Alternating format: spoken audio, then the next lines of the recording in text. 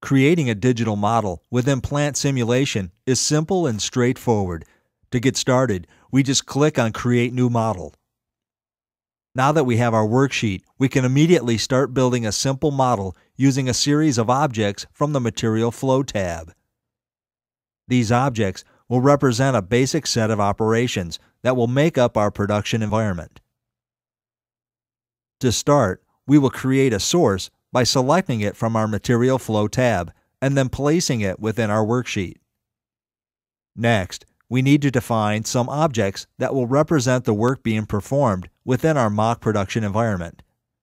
To keep things simple, we will use a single procedure object or single proc.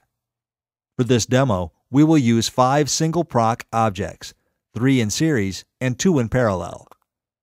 Placement is easy. After selecting the single proc object, we can simply hold the control key, which allows us to place multiple objects in our worksheet.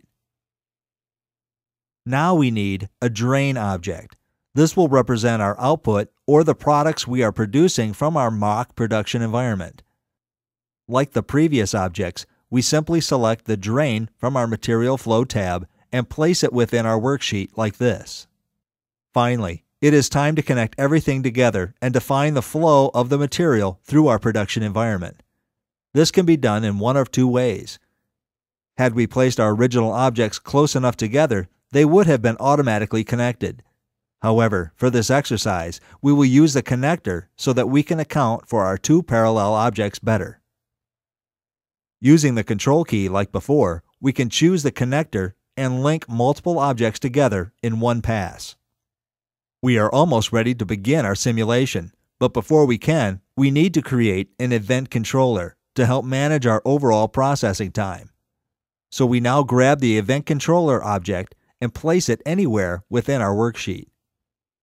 Once it is placed, you can right click, select Start, and you are now simulating your model. This is a very simple model that neither takes into account any kind of failure rates nor has it been set up to represent any specific period of production. In fact, by looking at the lower right corner of our screen, we can see it is still simulating as we speak. It has processed 84 days so far. But this gives you a feel for just how easy it is to get started with plant simulation. In little or no time, we have built a model and are up and running with it.